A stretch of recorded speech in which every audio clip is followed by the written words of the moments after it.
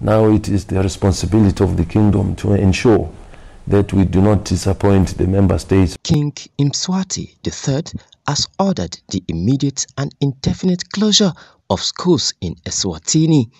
This follows a protest by students and learners boycotting lessons and calling for free schooling as well as the end to the king's rule.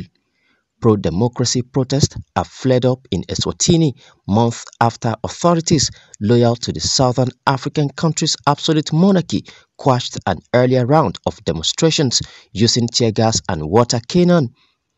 Anger against King Mswati III has been building for years.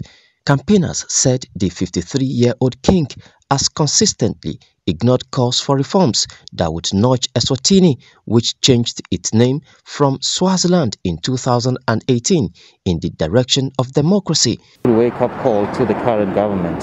And what has been happening in social media, I'm sure everybody has been seeing, there's been quite a lot of looting. Vigilantism has been at the center head, of course. And the reason, of course, is quite clear to quite a number of people.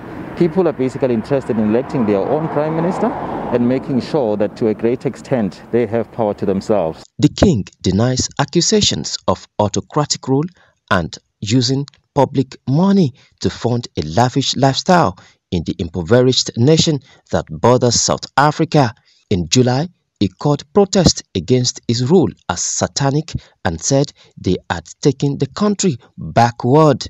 Meanwhile, Swaziland Youth Congress President Sonke Dube says the decision to close schools has negative impact on the academic year. In the meantime, we appeal for calm, restraint, and peace from all Emaswati.